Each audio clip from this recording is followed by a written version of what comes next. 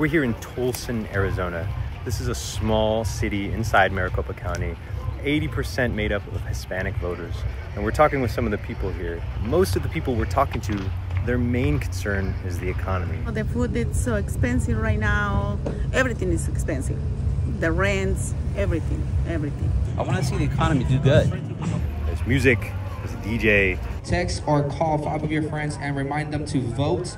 There's just a sense here that whatever side you're on, uh, people are just happy to have their voices heard and be a part of this process.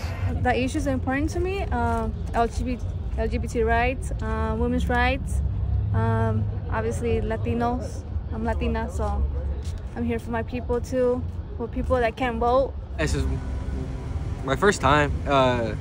It was not how I thought voting was. I just thought you voted for one thing and then and then that, that was it. But there's a bunch of like uh, the, like the policies and stuff, and it's, it's, it's crazy how, how how how much you have a say in it. The votes here are so important in such a swing state with such a huge impact on how it will outcome this election.